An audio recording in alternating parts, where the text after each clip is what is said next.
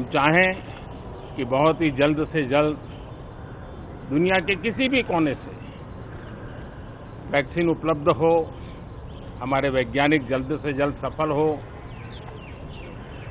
और दुनिया में हर किसी को इस संकट में से बाहर निकालने में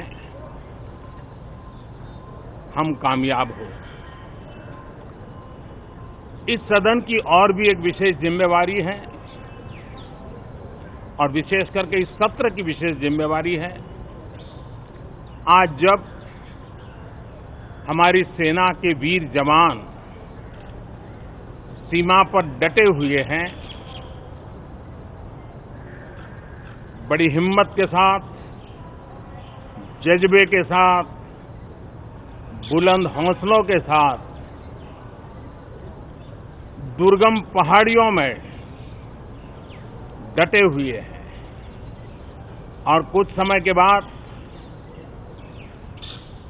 बर्फ़ वर्षा भी शुरू होगी।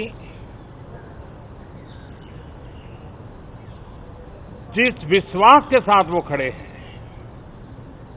मातृभूमि की रक्षा के लिए डटे हुए हैं, ये सदन भी, सदन के सभी सदस्य एक स्वर से एक भाव से, एक भावना से, एक संकल्प से